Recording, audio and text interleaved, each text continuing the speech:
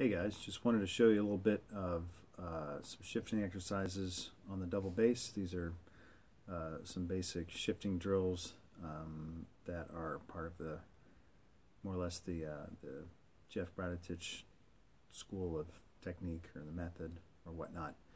And these are four note runs, and of course, um, when you get used to doing the shifting and so forth, you do five note runs, six note runs, whatever, uh, up each string.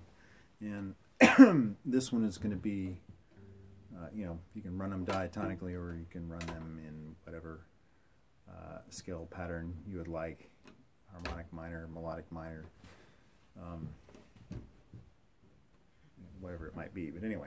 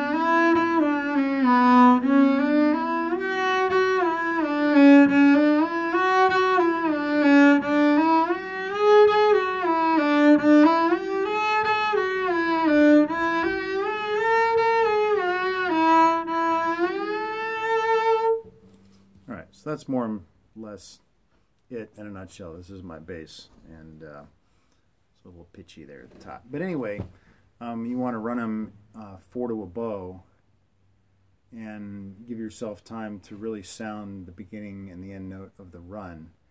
And that helps you really kind of get a sense of not only the the notes as a group, but also as the shift of the interval from the first note to the last. So, anyway, that's kind of it.